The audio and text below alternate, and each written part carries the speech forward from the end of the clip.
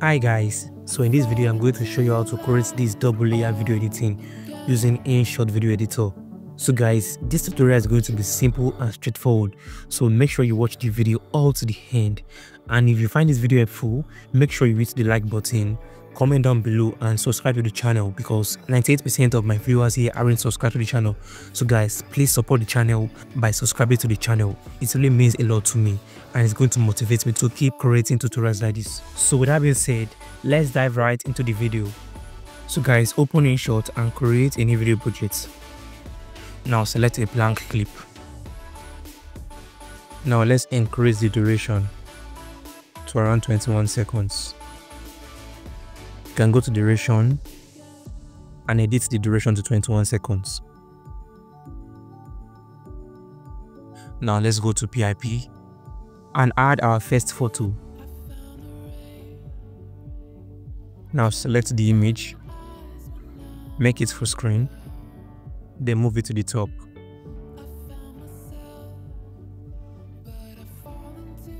Now increase the image duration to around 7 seconds. Now let's copy it, copy it, then replace it with your second image. Now select the image. Now this is the second photo we want to use for the layer video editing. Now move it to the bottom and slightly above the first one now let's go to mask. Select the linear mask. Now invert the mask. Then place the mask tool at the top. Now drag the shadow key. As you can see, we have blended both images together. Now see the results. So just repeat the same steps for all your images. So guys, so as not to waste your time, I'm going to repeat the same process for the other images. Now I've done that and this is the result. Now let's go to music, audio, and add our music. And you can select any of your favorite music and add it to the video. Now delete the part you don't want from the audio.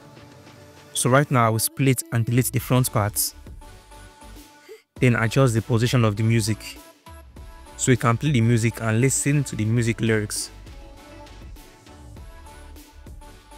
So now let's go to the ending parts. Also you can split and delete the ending parts. Split and delete. Perfect. Now export the video.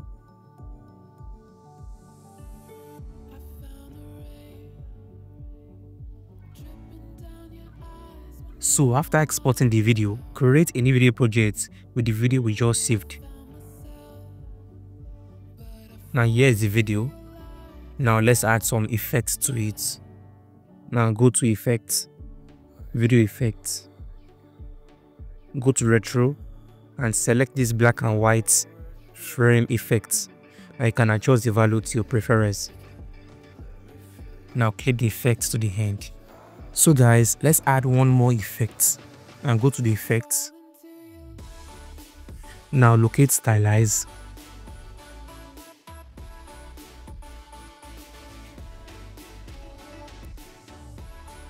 Now under stylize, you see the HDR effects.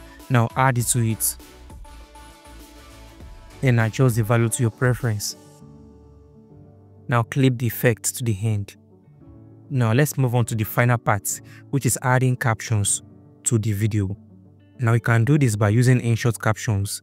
Now go to text and select captions. Now select the template you would like to use. So for this, I will use this typewriter style effect. Now start generating the captions. So wait for the captions to generate.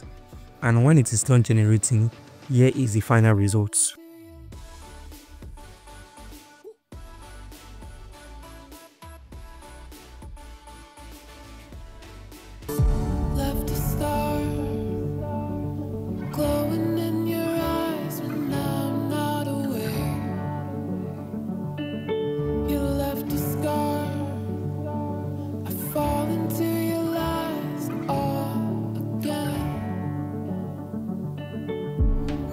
Thank you so much for watching.